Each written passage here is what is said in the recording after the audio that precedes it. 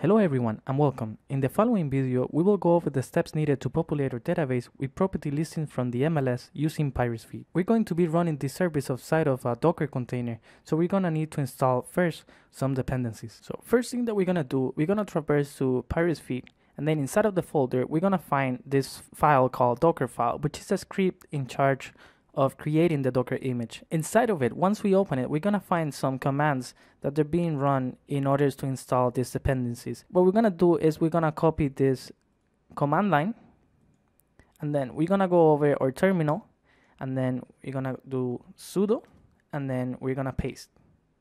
We click enter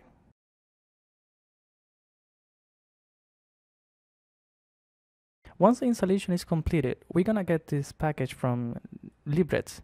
So we're gonna copy this and then we're gonna paste it in the browser. We're gonna do sudo and then we're gonna paste. And then this variable here, uh, the reds version, we're gonna change it to, we're gonna delete this. We're gonna change it to 1.6.1. We're gonna click enter. And then once this package is unloaded, we're gonna uh, unzip it. Uh, we're gonna do uh, sudo tar and then xzf and then the name of the file, which in our case is 1.6 uh, tar.gz. And we're gonna click enter and then we're gonna move into the newly downloaded folder. Once we're inside the directory, uh, we're gonna become super user. We're gonna do sudo su. So we're just gonna copy this, uh, right click, copy. We're gonna paste it. I'm gonna click enter and we should be done. Now that the file is configured, we're gonna do uh, make and make install. Once the make and the make install finish running, we're gonna go back to our directory and then we're gonna remove the file that we downloaded. So we're gonna do rm minus rf and then the name of the files. In our case was 1.6 star.gxz we click enter and then we remove the file.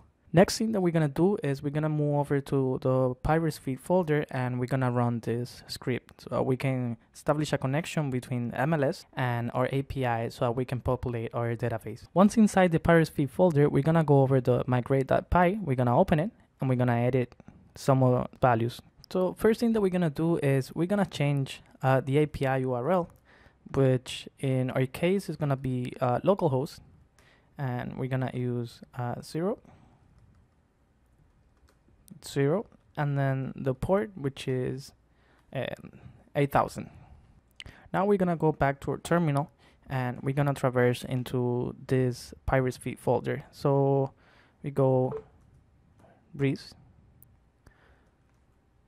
Pyretsfeed and then once inside the Pyretsfeed folder, what we want to do is we want to install this package Slumber, which is not currently installed, which is one of the requirements in order to run this this script.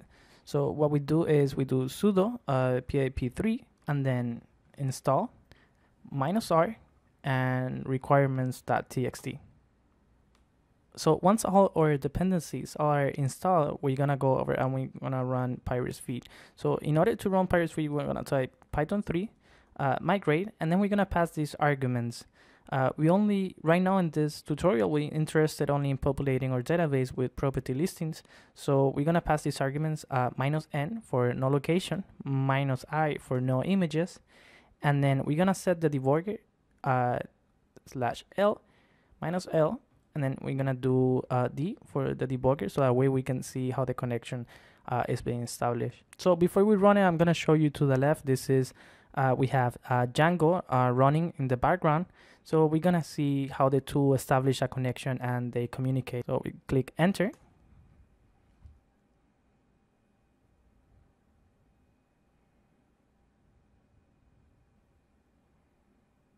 And we can see the packages returning uh, 201 uh, code. So they're being successfully uh, being put into our database. While we do this, let me make some clarifications. Uh, this Pyretsfeed is supposed to run inside a container and we're only printing this uh, as a debugging method so a way we can see how the connection is being established if this is where to run in the inside the container we're going to disable this debugger because this can cause some performer issues because we're uh, printing in unnecessary values in our terminal. Now, it should be clarified that populating our database with all this newly added property listing to an empty database can take some time. Because this is only a demo, I have stopped uh, Pyretsfeed from running. And now we're gonna move into pgadmin so we can visualize the data being stored in the database. Also, we're gonna use uh, the API so we can see visually uh, our property listings once is once inside pgadmin, we're gonna go over the tables and we're gonna find the one called real estate property dump, which is the one that we just populated with. If we click on view the data in the selected object, we can see all the properties that they were stored. In our case, we only store 500 uh, properties, and we can see all the different fields how they were populated with data.